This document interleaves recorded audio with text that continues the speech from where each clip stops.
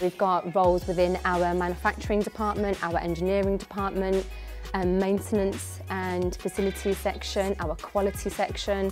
So we cover quite a wide variety of departments which we can place apprentices into. We're really, really fortunate that we're in a position to offer permanent positions to our apprentices when they're coming up to their fourth year. The apprentice trainer supports them with their studying while on site, as well as looking after them from an employment perspective. Each apprentice has their own line manager within the team that they're working with. So it's almost like adding into the family. They become a member of the family. We hold an open day here at Cosworth and if they are happy with what they've seen, they're more than welcome to apply. We then invite students in, have go through the interview process. They know they want to go into quality. We'll show them the quality department, meet with the quality manager, and then take it from there. But the apprenticeship itself will start officially September the 1st.